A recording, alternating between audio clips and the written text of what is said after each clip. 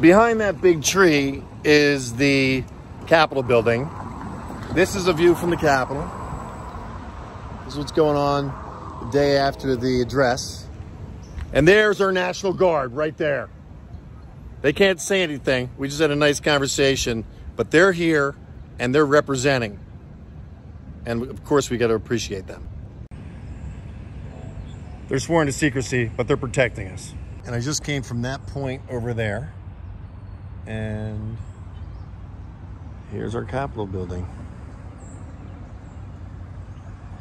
It's quiet, guys. It's quiet.